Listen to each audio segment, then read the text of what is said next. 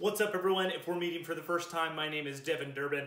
You're on the Durbin compound. I'm about to blow your mind with some new lock washers. Well, they're not necessarily new, but new to me. So these are some lock washers by Nord-Lock. They are a simple two lock washer system and they have a proprietary design. I have them on a uh, little wing nut here. You will literally just barely tighten them down.